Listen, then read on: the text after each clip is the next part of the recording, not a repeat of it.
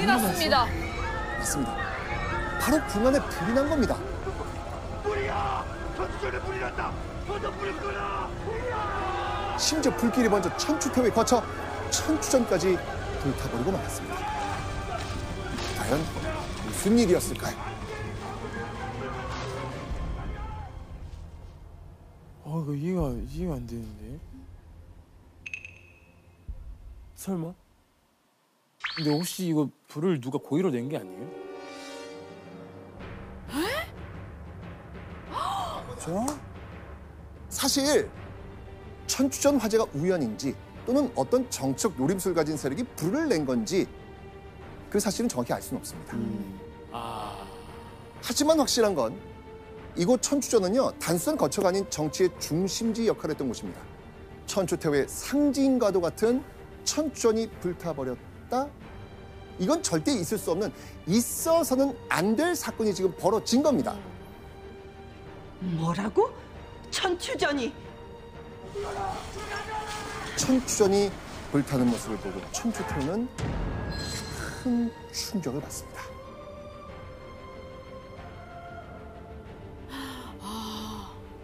자 그런데 불이 난 것도 충격인데 천추태후의 속을 시커멓게 타들어가게 만드는 일이 또 생깁니다. 어? 오, 아 진짜요? 바로 천추태후의 아들 목종이 쓰러진 겁니다. 기록에 따르면요, 천추전에 불이 난 걸 보고 병이 점점 악화되던 목종은요, 결국 나란 일을 돌보지 못하는 그 지경까지 와버립니다. 목종이 병에 걸릴 만큼 천추전이 불탄 게 엄청난 일이었나 봐요. 뭐 여러 가지 해석이 있는데요. 당시 목종의 정치 그리고 후사 문제에 대해서 불만을 가지고 있었던 세력들이 일부러 불을 냈고 목종이 충격을 받아서 병에 걸렸던 것으로 이해를 하는 것이 있고요. 근데 혹은 그것이 아니라면 이 방화를 주도한 어떤 배후 세력들이 어, 이 목종의 처소를 장악을 하고 실제 목종은 뭐 알아눕거나 병에 걸리지 않았는데 사실상 감금 상태에 있었던 것이 아닌가라고 추정을 하기도 합니다. 자, 뭐 진실은 뭐 정확히 알 수 없지만 화재로 인한 결과는 하나. 목종이 쓰러진 거죠. 네. 목종이 알아누우면서 왕실의 후사 문제가 본격적으로 부상했다는 겁니다. 자, 그러면 이때 마음이 급해진 사람들이 있겠죠? 누구였겠습니까? 천추태우. 맞습니다. 천추태와 김치양은요 목종이 쓰러진 틈을 타서 신하들이 혹시 대량 원군 왕순을 왕의 후계자로 올린 것 아닐까 경계를 하게 됩니다. 자 이런 상황 속에서 천추태와 김치양 어떤 생각을 했을까요? 그 빨리 아들을 왕으로 올리자. 그렇죠. 그 생각할 것 같아요. 국내 문제는 무엇을 먼저 처리하는 게 좋겠습니까?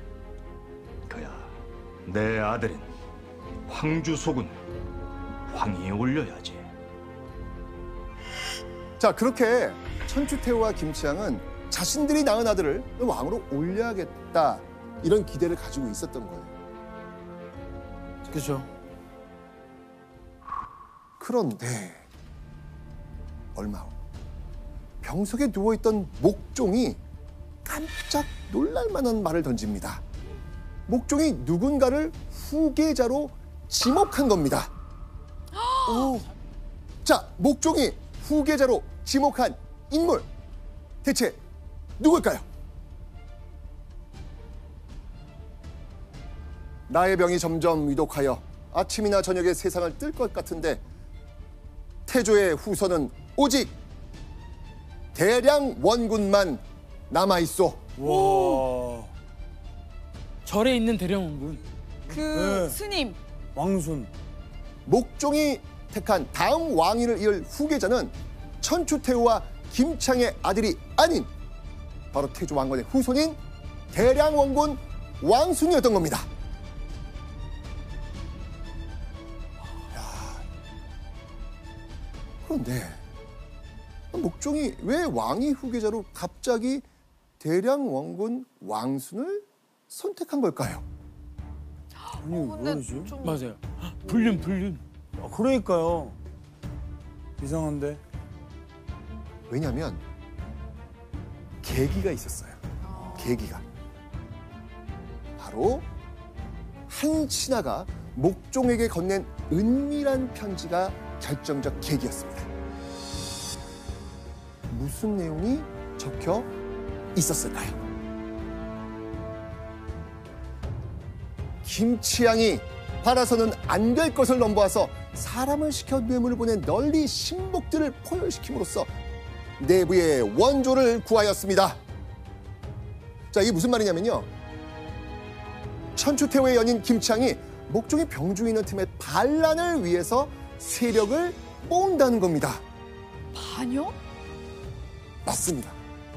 자, 이 편지를 받은 목종은요, 심장이 철커덕 내려앉습니다.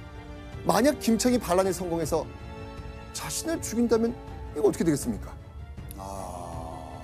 왕위 후계자는 천추태후와 김창의 아들이 되겠죠.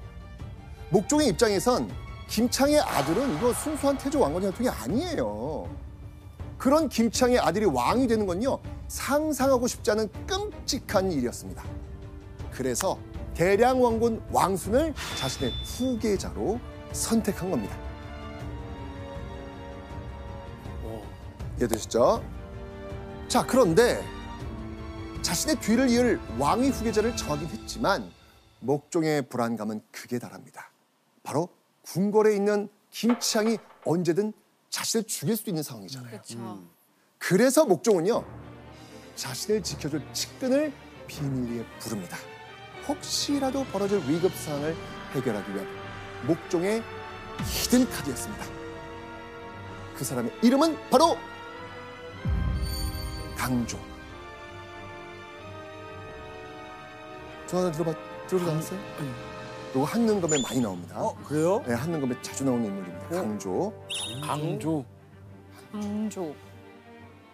강조는요 고려 시대 때 군사적 요충지였던 서북면 지역에서 군사 병력을 장악하고 있던 무관이었습니다. 그리고 목종의 충직한 신하였죠. 자 그렇게 목종의 명을 들은 강조는요 곧장 개경으로 향합니다. 이대로 강조가 개경의 왕궁에 입성하기만 하면 김창이 진짜 쿠데타를 일으킨다고 해도 목종을 지켜줄 든든한 호의가 생기는 셈이었습니다. 음. 자 그렇게 개경으로 향한 강조. 그런데 갑자기 강조는요 순식간에 개경을 장악합니다. 그리고 모두가 경악할 만한 일을 벌입니다. 대체 무슨 일이었을까요? 오 이상한데. 보시죠. 바로 목종을 파위시킵니다. 그리고 천추태후의 조카 대량원군 왕순을 도려의 제8대 왕 현종으로 내세운 겁니다. 아니 뭐예요? 이게 목종이 지켜달라고 한 건데 쫓겨난 거예요? 자, 그래서 우리는요, 이 사건을 이렇게 부릅니다. 강조의 정변. 김창을 없애겠다고 달려온 강조가 엉뚱하게도 대량 원군 왕순을 고려의 왕으로 세우는 진짜 반역을 저지른 겁니다. 진짜? 왜? 자, 바로 이 강조의 정변은요, 이게 고려 역사에서 미스터리로 남아 있어요. 아. 아니, 교수님 강조는 왜 목종을 배신한 거예요 갑자기? 이러한 상황이 발생을 하게 된 것은 당시에 목종이 강조를 불렀을 때 계속 조금씩 다른 소식들을 접하게 되었기 때문인데 조정이 혼란스러운 상황에서 개경 안에서도 여러 가지 소문들이 돌았던 것이죠. 그래서 이런 것들이 뒤섞여서 전해지면서 이제 강조는 좀 곤란했던 것이 아닌가. 그래서 군대를 동원할 정도의 판단이 있었던 것으로 생각됩니다. 하지만 어찌되었든 왕명이 없이 5천 명이라고 하는 대군을 이끌고 왕궁을 향하는 그러한 상황이었기 때문에 이것은 어, 자신의 안위를 위해서도 어쩔 수 없는 선택이었다고 보여집니다.